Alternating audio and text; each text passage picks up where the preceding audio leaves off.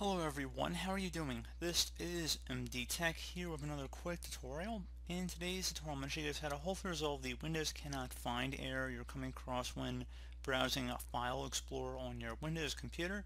So this should hopefully be a pretty straightforward tutorial, and without further ado, let's go ahead and jump right into it. So first thing we're going to do is open up File Explorer. You can open up the taskbar icon just by left clicking on it, or you can search for it in the start menu, whatever you prefer and we're just going to wait for it to open up here for a second. And now you're going to select the view tab up at the top. Go over and right click on the options selection. And then where it says open file explorer to you want to click inside this drop down menu here select this PC and now select apply and OK.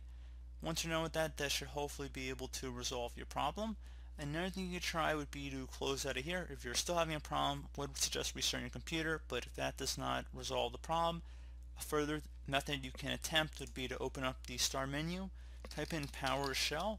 Best match should come back with Windows PowerShell. Go ahead and right click on that, and then select Run as Administrator.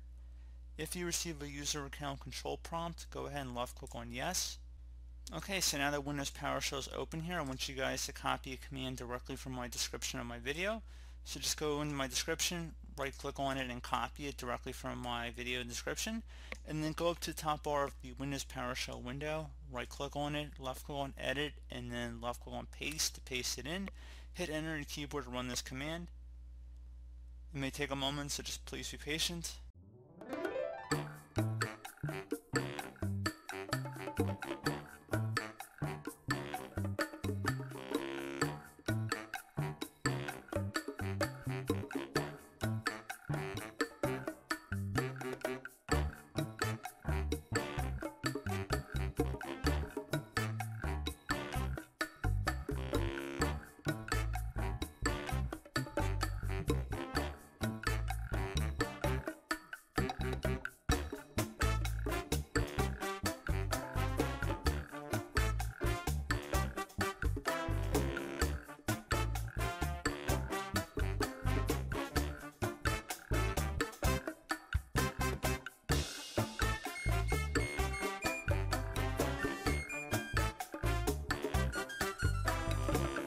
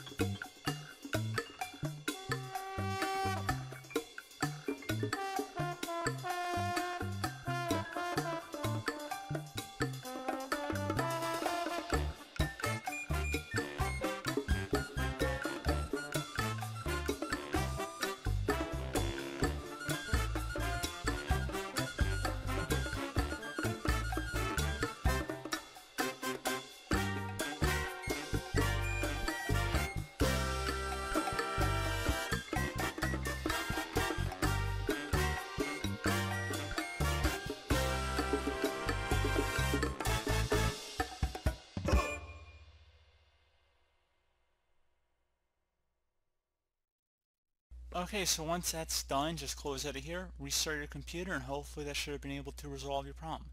So as always, thank you guys for watching this brief tutorial. Do hope I was able to help you out, and I do look forward to catching you all in the next tutorial. Goodbye.